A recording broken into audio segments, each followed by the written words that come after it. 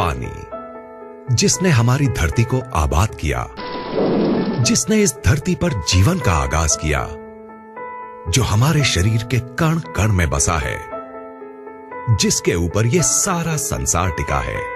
मानव शरीर का 70 प्रतिशत हिस्सा पानी से बना होता है, और इस शरीर को स्वस्थ बनाए रखने और नुकसानदायक पदार्थों को बाहर निकाल फेंकने के लिए हमें रोज़ाना ढेर सारा पानी पीने की ज़रूरत पड़ती है।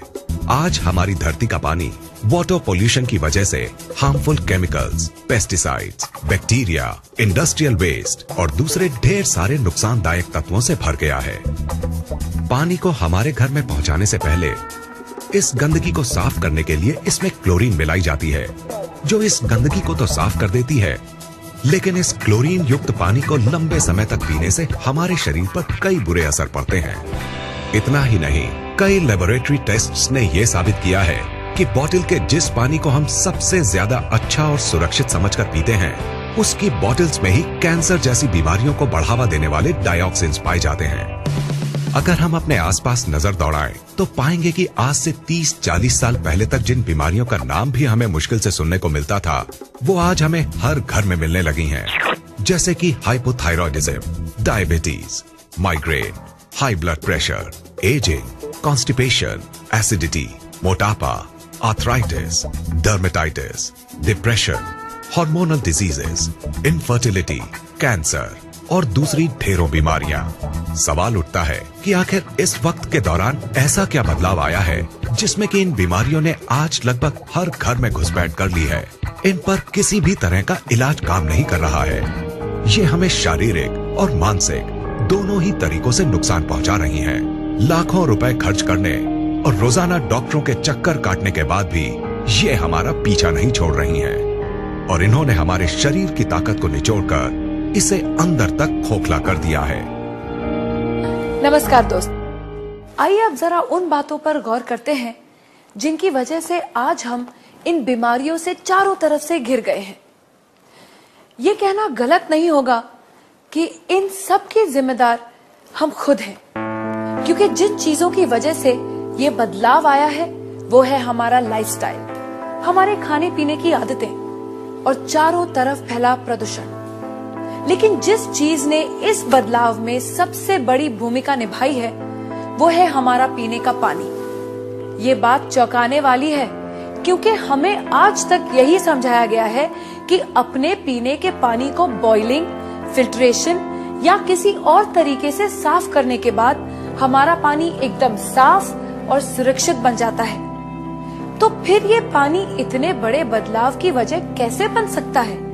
पीने के पानी की क्वालिटी को नापने के दो खास पैरामीटर्स होते हैं ऑक्सीडेशन रिडक्शन पोटेंशियल यानी ओआरपी और पोटेंशियल हाइड्रोजन यानी पीएच ओ वैल्यू से पानी की उस क्षमता को नापा जाता है, जिससे वो ऑक्सीडेशन प्रक्रिया को धीमा करता है, और पीएच वैल्यू से उसके एसिडिक या एल्कलाइन गुण को कम ओआरपी का मतलब है फ़ायदेमंद पानी और ज़्यादा ओआरपी का मतलब है नुकसानदायक पानी।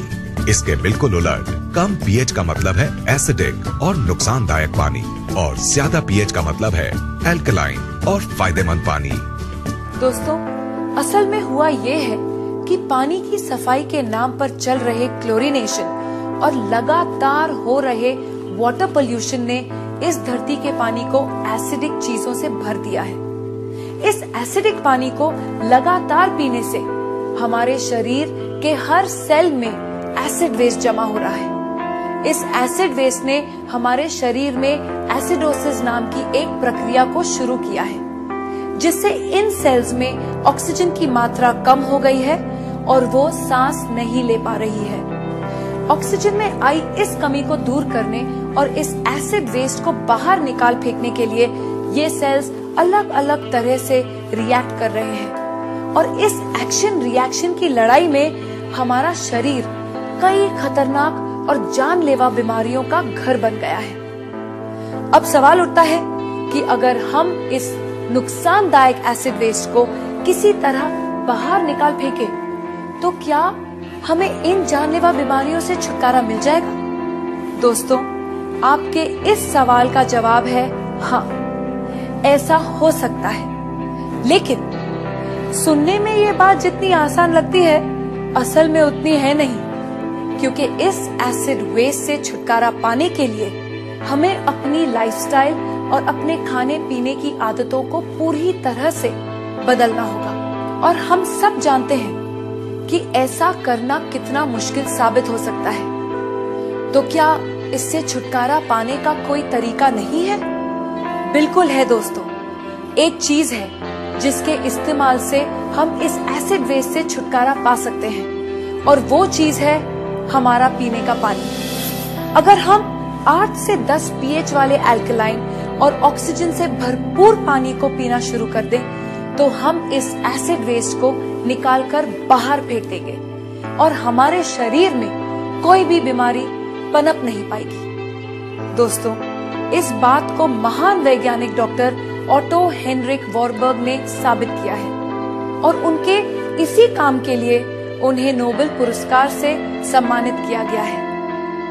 उनके कहे स्वर्ण अक्षरों के मुताबिक no disease can survive in an alkaline environment यानी एल्कलाइन शरीर में कोई भी बीमारी पनप नहीं सकती। इन सब बातों को ध्यान में रखते हुए ये बात दावे से कही जा सकती है कि अगर शरीर को स्वस्थ है बनाना तो एल्कलाइन पानी ही होगा अपना।